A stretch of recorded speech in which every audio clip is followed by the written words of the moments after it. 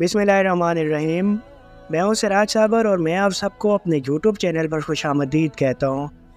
ہم اکیسویں صدی کے اندر رہ رہے ہیں، لیکن افسوسناک بات یہ ہے کہ پاکستان اس وقت تاریخ کے نازک ترین دور سے گزر رہا ہے۔ مجھے پاکستان کے حالات دیکھ کر جارج اورول کا ایک ناول نائنٹین ایٹی فور یاد آتا ہے، جس کے اندر ایک ایسی دنیا کی پریڈکشن کی گئی جو کہ پاکستان کے کرنٹ حالات کے ساتھ مکمل طور پر مطابقت رکھتی ہے۔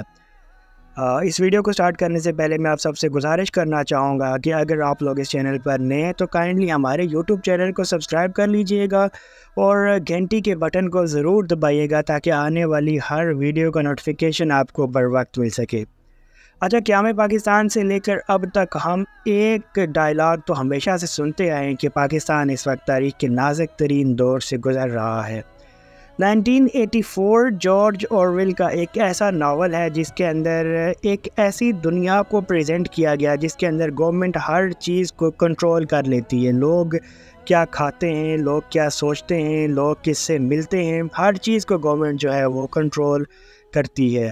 لوگوں کو اجازت نہیں ہے کہ وہ اپنی مرضی کا کھائیں، لوگوں کو اجازت نہیں ہے کہ وہ اپنی مرضی سے شادی کریں، لوگوں کو اجازت نہیں ہے کہ وہ اپنی مرضی کی رائے جو ہے وہ سامنے لا سکیں۔ لوگوں کو صرف یہ آرڈر کیا گیا ہے کہ آپ نے اپنے ٹیلی ویژن کو آن رکھنا ہے اور اس کی مدد سے big brother is watching you یہاں پر دو ایسے کریکٹرز کو جو ہے وہ پورٹری کیا گیا جو کہ ان کے رول کو وائلیٹ کرتے ہیں اور بعد دا اینڈ انہیں سزا ملتی ہے۔ پاکستان کے حالات بھی مکمل طور پر نائنٹین ایٹی فور ناول کے ساتھ مشابت رکھتے ہیں۔ یہاں پر مکمل طور پر فریڈم آف اسپیچ جو ہے وہ ختم ہو چکی ہے۔ یہاں پر جو بھی حق اور سچ کی آواز اٹھاتا ہے، اسے یا تو گرفتار کر لیا جاتا ہے یا اسے شہید کر دیا جاتا ہے۔ عمران ریاض خان صاحب کو چھ ماہ سے زائد عرصے تک لاپتہ رکھا گیا اور ابھی تک ہم نہیں جانتے کہ انہیں جو ہے وہ کہاں پر رکھا گیا اور یہ راز جو ہے وہ ایک راز ہی رہ چکا ہے کہ عمران ریاض خان صاحب چھ ماہ تک کس کی کسٹڈی کے اندر تھے؟ اس کے بعد ارشد شریف صاحب کو جس طرح شہید کیا گیا اور انیشلی یہ کہا گیا کہ ارشد شریف صاحب کی شہادت کے اوپر انویسٹیگیشن کی جائے گی، ایک کمیٹی بنائی جائے گی، لیکن وہ کمیٹی بھی تحقیق کرنے کے اندر دلچسپی ظاہر نہیں کر رہی۔ اچھا اس ناول کے اندر ایک بڑی زبردست چیز تھی۔ اس ناول کے اندر گورنمنٹ چاہتی تھی کہ ہم لوگوں کے مائنڈ کو بھی کنٹرول کر لیں۔ لوگ کیا سوچتے ہیں؟ اس چیز کو بھی ہم کنٹرول کر لیں۔ تو ڈیفینیٹلی گورنمنٹ یہاں پر لوگوں کی سوچ کو بھی کنٹرول کرنے کی کوشش کر رہی ہے۔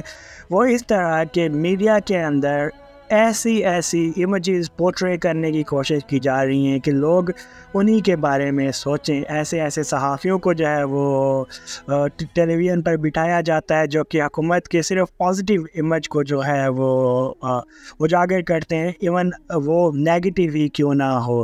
اچھا اس کے بعد پاکستان کے اندر میں آپ سب کو وارن کرنا چاہ رہا ہوں کہ پاکستان کے سوشل میڈیا کے اوپر جو ہے وہ بہت زیادہ سختی جو ہے وہ فیوچر کے اندر سٹارٹ ہو جائے گی کیونکہ حکومت کا یہ پلان ہے کہ جو لوگ بھی حکومت کے خلاف پوسٹیں کریں گے، انہیں گرفتار جو ہے وہ کر لیا جائے گا اور ایک ایسا سسٹم انسٹال کیا جائے گا کہ کوئی بھی چیز سوشل میڈیا کے اندر کے اوپر حکومت کی مرضی کے بغیر اپروو نہیں ہو سکے گی پاکستان کے اندر وی پی اینس کو جو ہے وہ مکمل طور پر بین کر دیا جائے گا۔ آٹھ فیبرری کے بعد جس طرح ٹویٹر یعنی کہ ایکس کو بلاک کیا گیا ابھی بھی پاکستان کے اندر ٹویٹر جو ہے وہ صحیح طریقے سے ورک نہیں کر رہی۔ اس کے علاوہ اکثر اوقات یہاں پر یوٹیوب کو بند کر دیا جاتا ہے انٹرنیٹ شٹ ڈاؤن کر دیا جاتا ہے۔ الیکٹریسٹی کو جو ہے وہ بند کر دیا جاتا ہے۔ یہ چیزیں بہت زیادہ افسوسناک ہیں۔ ہمیں دکھ ہوتا ہے کہ پاکستان کے اندر ایسے حالات کا لوگوں کو سامنا کیوں کرنا پڑ رہا ہے؟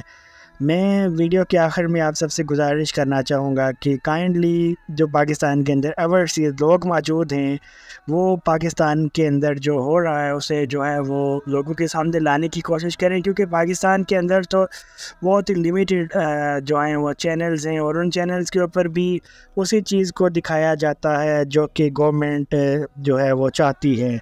ویڈیو کے آخر میں آپ سب سے گزارش کرنا چاہوں گا کہ اگر آپ لوگ اس چینل پر نئے ہیں تو کائنڈلی ہمارے یوٹیوب چینل کو سبسکرائب کریے گا اور گھنٹی کے بٹن کو ضرور دبائیے گا تاکہ آنے والی ہر ویڈیو کا نوٹیفیکیشن آپ کو بر وقت مل سکے۔ Thank you